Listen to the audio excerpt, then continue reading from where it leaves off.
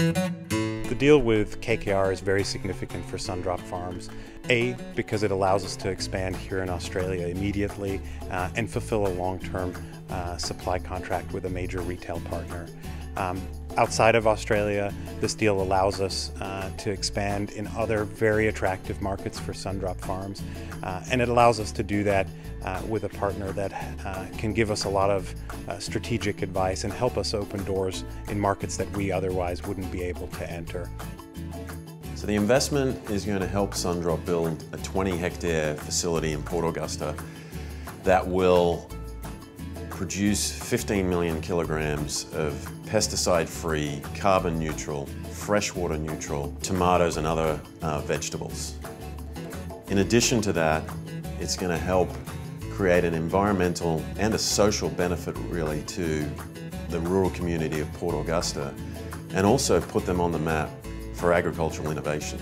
It's also going to help Sundrop become a global business and enter markets such as the Middle East, but also other markets that are long-term supply constrained agricultural markets.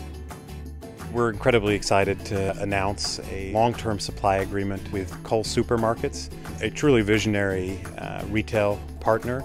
So this deal with Coles is very significant to Sundrop Farms because it allows us to invest heavily in Australian uh, innovation and agriculture, but it also allows us to supply delicious fruits and vegetables nationwide at a price that is very competitive to the Australian consumer.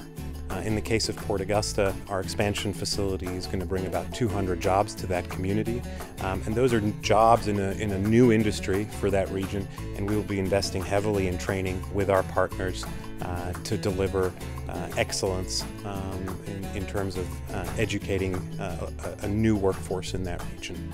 On top of that, we've decided to locate our Global Research and Development Center in Port Augusta, uh, which is a significant commitment.